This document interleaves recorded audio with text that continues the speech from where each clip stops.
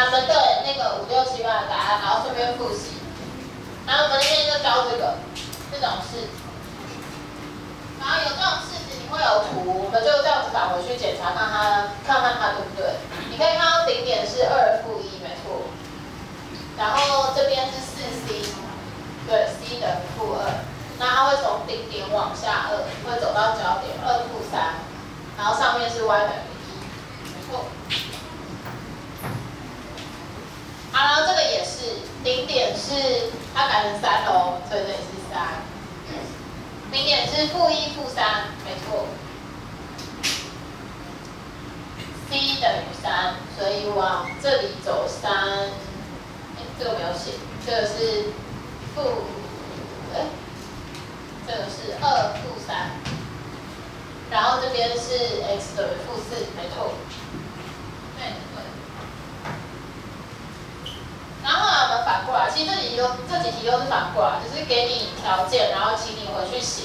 那那个品学字这边有点小，你们可以自己看那个上面那个题目。就顶点是一二，焦点是一三，那所以这边就会是一二。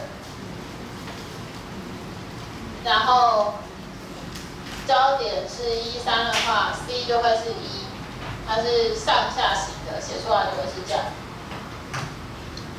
好，最后这个顶点也还是顶点还是一二，焦点变成零二，所以你的 C 是负一，因为你是往左走一。一二在这里这边是负四 C，对，没错。好，这是这四题。所以我们上个礼拜的重点就是，你知道什么是抛物线，什么到焦点等于到准线的距离，这是第一个。然后再来有式子你可以画，反过来有图你可以写式子，这是上个礼拜的重点。接着我们要到继续了，那请大家翻到第五页，例题二。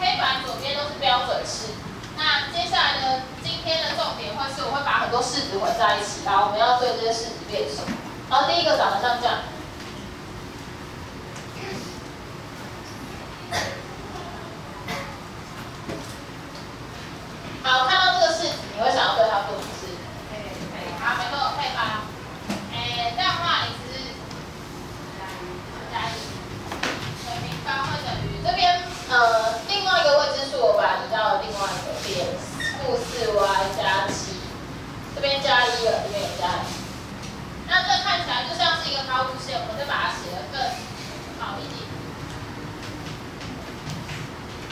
把 y 的系数提到前面，负四。这边是什么？y 减二哦，就是这样。所以这个式子，我们就把它变成它。那变成它以后，又回到黑板左边，就是有它，你就可以画出抛物线。所以现在请你们写三六，就自己。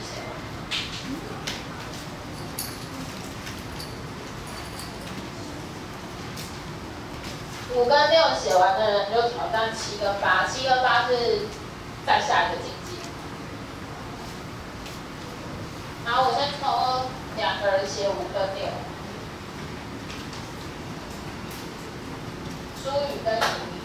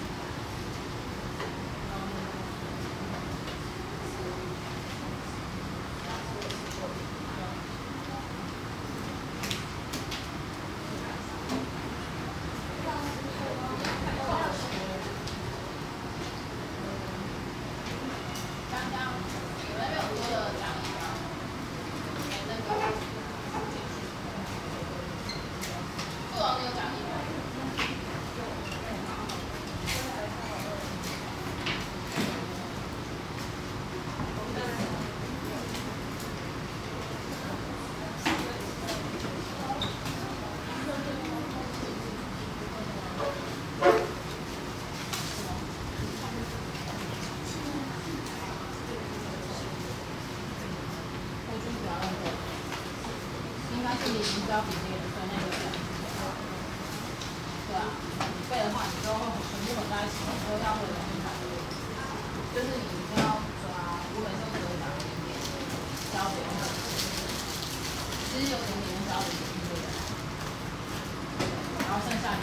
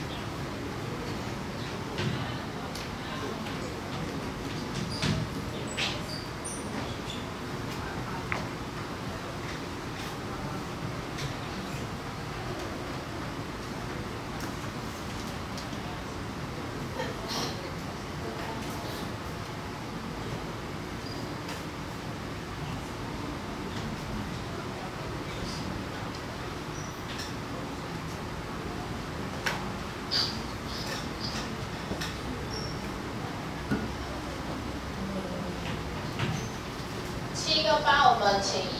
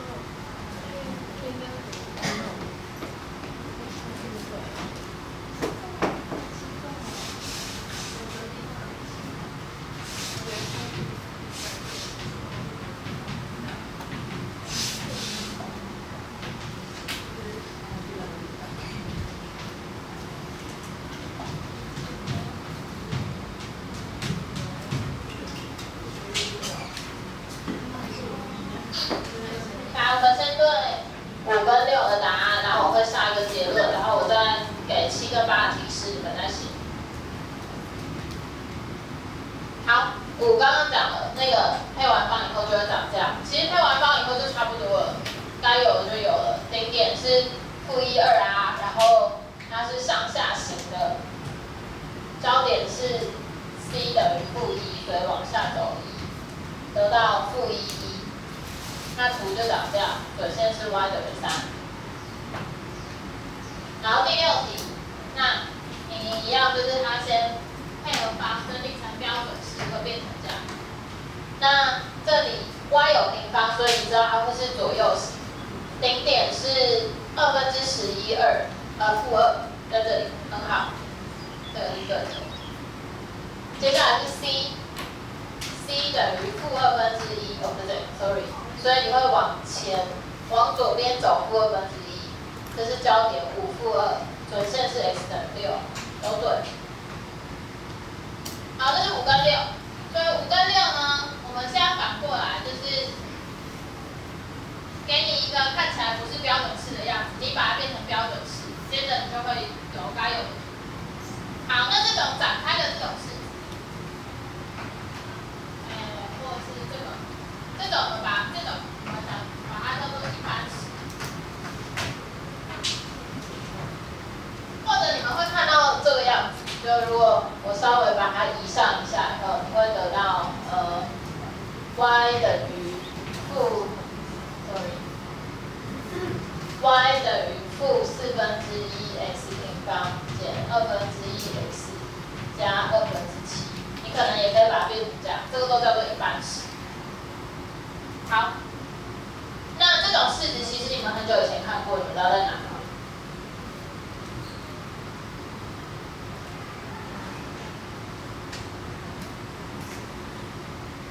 二次函数的时候，高一的时候，更早之前你就看过，比高一更早。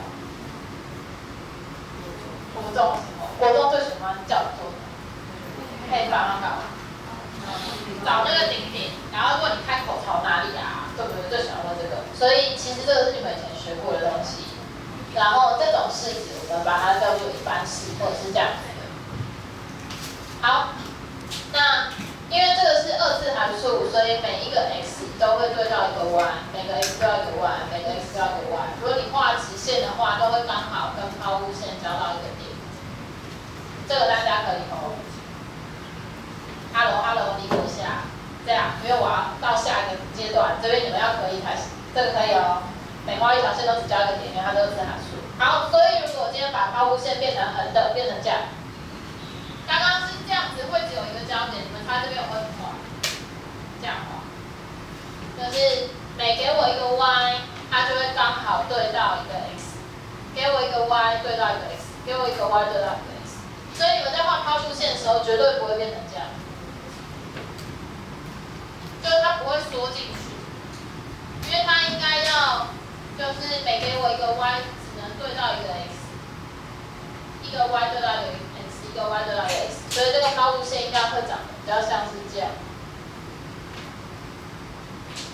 ，OK 吗？它不会慢慢的缩成一个蛋，好吗？它会这样，就是它会一直出去。好，这是第一件事情。好，第二个。以前我们说二次函数可以写成这样，y 等于 a 平方加 bx 加 c，好，这边变成这样，这个是 y 是 x 的函数，这边是 x 是 y 的函数的话，那这边的式子一定可以写成，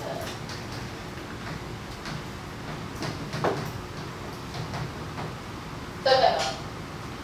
就其实左边如果你会了，右边你一定会，因为右边就是 x 跟 y 相反。就地位交换。好，所以结论，如果你今天抛物线是长这样子的话，那它其实就是一个二次函数，我们以前学的那种，那你就可以把抛物线就一定可以长成这样。那如果它跟变左右的话，就反过来想，就会变成 x 是 y 的函数，那它一定可以写成这样。这个结论就在你们这一页的最下面。一般。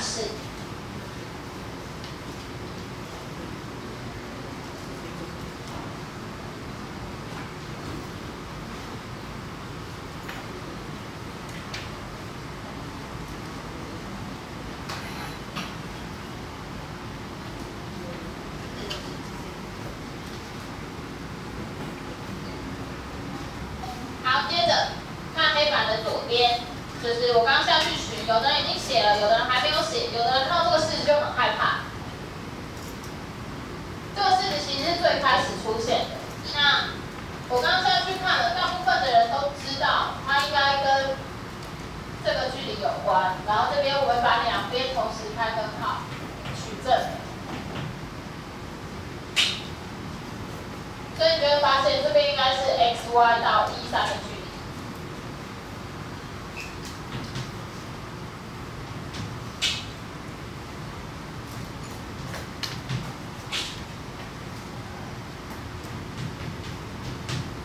有一个点是一三，那这边看起来是点到线的距离，x y 到这条线，这条线是哪一条线？通常大家看到这个式子，你们应该就会猜那个。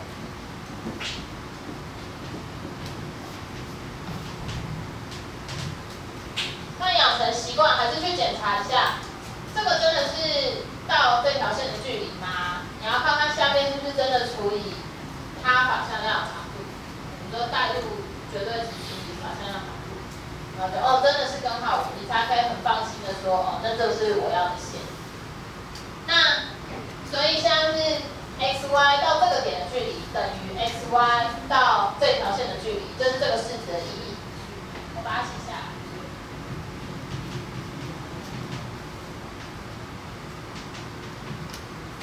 那意思就是说，这个点其实就是我的焦点，那条线就是我的准线。那卡住的人，请你们至少先画出一三这个点跟那条线。画完以后，稍微画一下那个抛物线，然后再开始看它要什么东西求一求。那第八小题一样，只是第八小题还是有些地方不一样。那一样，嗯，你们能做的事情就是，你觉得什么东西很关键，你就先画在上。比如说我刚刚就画了一三跟那条线，就是它感觉是很关键的东西，就先画，然后我们再想接下来怎么办。所以抽到的同学，你们上台写，如果你写不出答案，你就把你觉得是关键的画在图上就好。那待会还是请以璇跟韩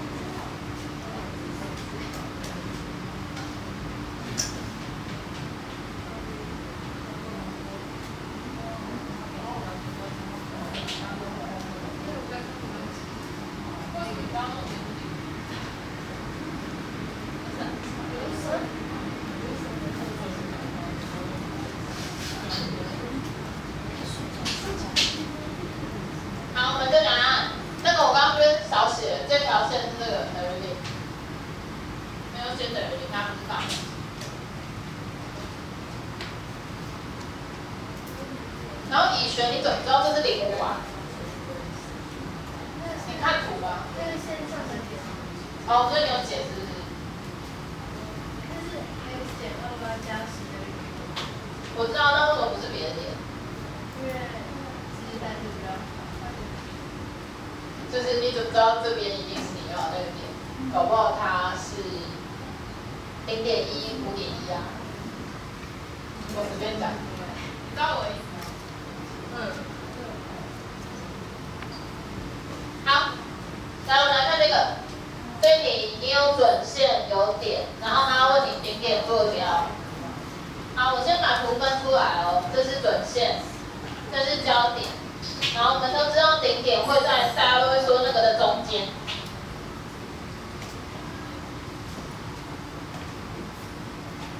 就我要求橘色这个点的坐标，那乙炔不小心蒙对了，他就觉得这个点呢，反正就很好带，就是零度。然后这题刚好真的是零度啦，所以就对。那我们如果没有这刚好，我到底要怎么样求这个点呢？那哎对，哎不会。先问大家一个问题，这个抛物线的对称轴应该在这里，这个方向。你们可以求红线的方程式哦。二 x 加 y，红线跟白线垂直，就是白线的方程式。那因为它们垂直，它一定可以写成二 x 加 y。我们之前说长这样就会垂直嘛，很久以前。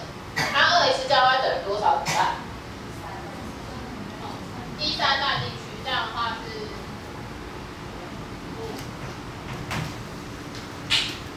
那我要的那个点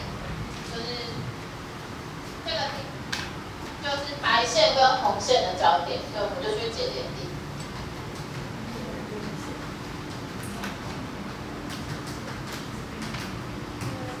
好，这个解出来就会是零五。那因为有零五了，就是这里是零五，这里是一三，所以中间那个点，终点就是二分之一四，就是乙炔这边写的，这是顶点。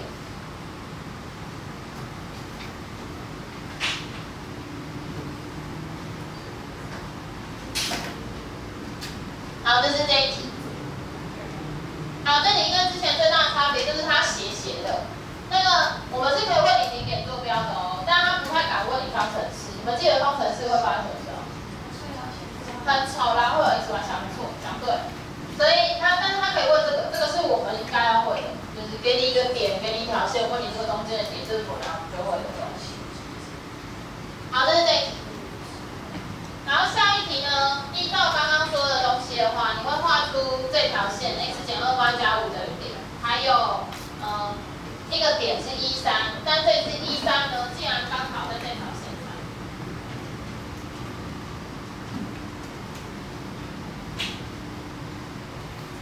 就抛物线应该是准线交点，然后就有抛物线。结果这次的准线交点交点竟然刚好躺在那条准线上。你们记得这件事情，其实我们讨论过，你们记得在哪？啊，对，对前面，我传给大家看。就是我们那天呢描了同心圆的那个，你没有看到自己的没关系，你可以看我前面的那个。对对。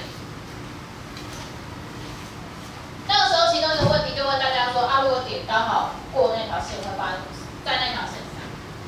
那那时候大家都很快的就接受，答案就是这一条线。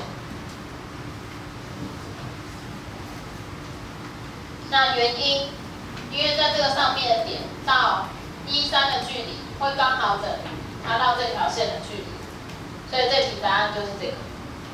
那有人就说，啊，那它的顶点是什么？其实这题如果答案是红线的话，你没有办法讨论一条线的准线交点跟顶点，没有这种东西。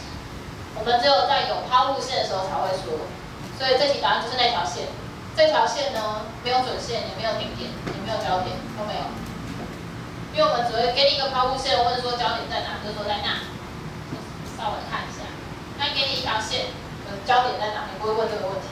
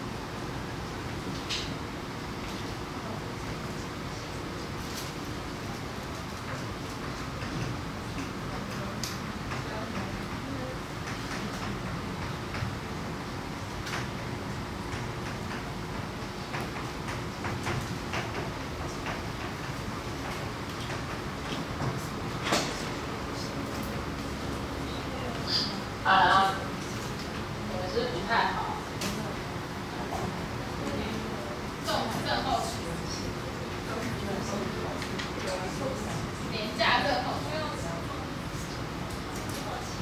我本来两个粽子要很开心，然后昨天终于到了端午节，就想说我要来去动。殊不知吃了之后发现它是素的，然后我就想说什么？我等等它那么久。我就觉得端端午节就是要吃一个粽子啊，结果它竟然素的也没什么不好，只是我觉得就是那天就很想要吃肉粽嘛，还有蛋黄。都没有蛋黄啊，那就叫粽粽子。它是它里面有它里面只一堆米香菇啊。它就是有那种看起来很健康的米，懂吗？健康的。对对对对对对，然后还有那个。对，然后我就觉得很好，我们换个话题，这个话题好像是我猜的。这个话题是这个，它我要说什么呢？那个好了，前半的重点已经结束了，就是你们会标准式，就这样。然后现在呢，就是今天呢这一节课跟下一节课的重点，就是我们要把所有东西都混在一起，可以啦。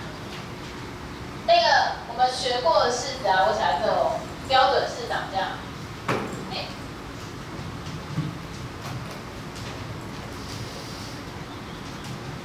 这样嘛，我们这几天都在了解它。然后下一个一般式，这个之前就看过了。好，还有一种是配方式。以前大家如果看到这个的话，题目一定会请你配方。这个有印象吗？国中的，就是国中超爱这个，就每次就反正二次函数反正配方是对的，题一定不会错，然后就点点。好，那这三个呢，待会我们会混在一起，就是你看到题目的时候，你要自己决定你要用哪一个。然后先跟大家说，通常选哪一个都可以，那只是有时候计算会比较麻烦，所以没有什么一定要选哪一个才会写出答案，没有这件事，通常都一定可以写出来。那先稍微提一下，就是上面这个跟下面两个的差别，因为下面两个以前看过。你们觉得上面那个，你们觉得最有差别的在哪里？等一下我改一下。此 C 非彼 C，它被发现。上面呢，跟大家最不一样，就是它有一个 C，这个 C 跟那个焦点很有关系。以前我们学的时候都不会讨论什么焦点，但是现在会了。所以通常有题目，如果它跟焦点很有关系的时候，我会倾向看看能不能用上面。倾向我没有说一定用这个。那、如果它都没有什么焦点啊、准线，就是看起来没什么关系的话，我可能就会用下面。通常，那我们来试试看。大家先看例题三的第一小题就好。然后看了以后，你可以先试试看，如果是你会用什么？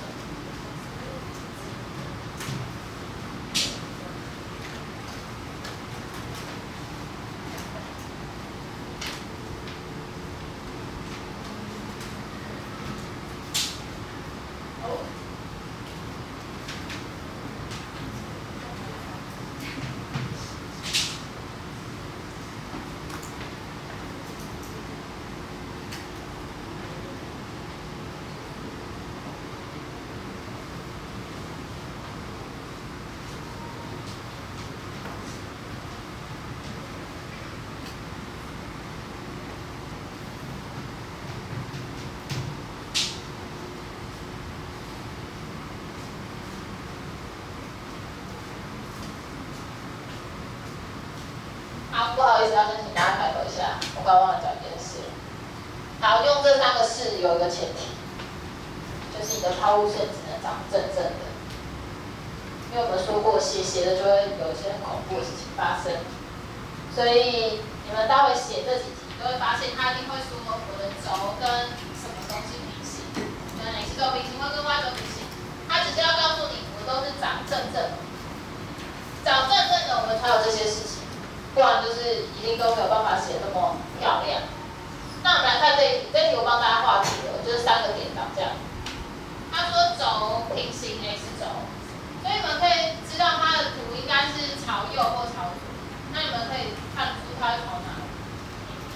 应该很容易，就是朝右。你们的右边，朝右。好，大概讲。好，这你还没有算之前，其实你还可以知道一件事，你知道是什么吗？哦，对称轴。好，请问对称轴是 y 等于二分之一，没错。因为你知道它是上下对称的，那刚好它要给你上下对称的两个点，三二跟三负一，那你的轴一定会在这个中间。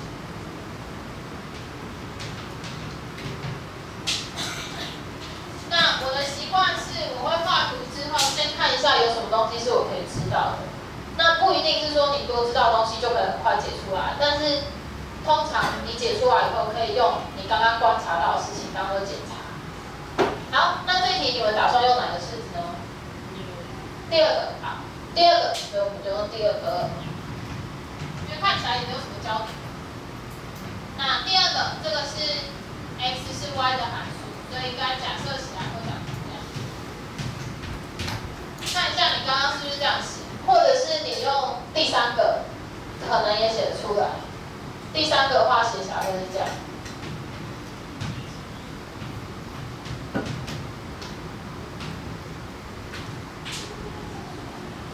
那你稍微看一下第，如果你选第三个的坏处，哎，不对不对，没有坏处。本来会有坏处，但是现在不会。第三个，除了这样假设以外，还有一个东西。你知道